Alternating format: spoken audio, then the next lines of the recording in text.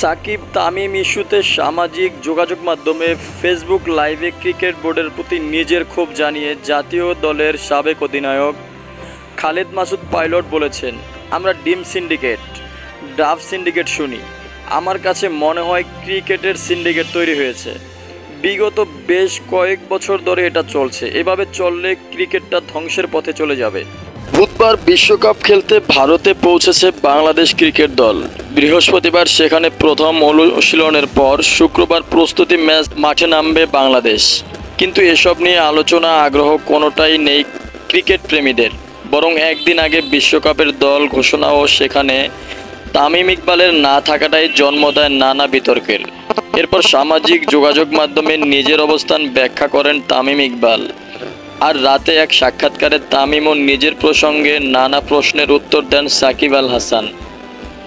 তামিম তার ভিডিওতে সরাসরি সাকিবের বিরুদ্ধে কোনো অভিযোগ করেননি। তবে সাকিব আল হাসান তার সাক্ষাৎকারে তামিম ইকবাল প্রসঙ্গে বেশ কয়েকটি মন্তব্য করেছেন। যদিও তিনি দাবি করেছেন তামিমের বাদ পড়ার বিষয়ে তার কোনো ভূমিকা ছিল না।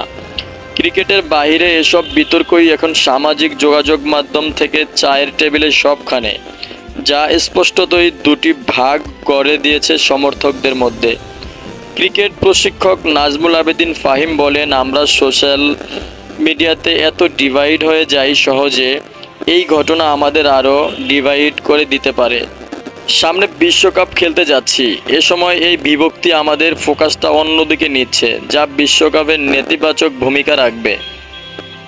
বাংলাদেশ ক্রিকেট বোর্ডের সঙ্গে দীর্ঘদিন কাজ করা নাজমুল আবেদিন ফাহিমও মনে করেন, বিসিবি এই ঘটনা ঠিকভাবে সামলাতে পারেনি, ফলে সব কিছু নিয়ন্ত্রণের বাহিরে চলে গেছে।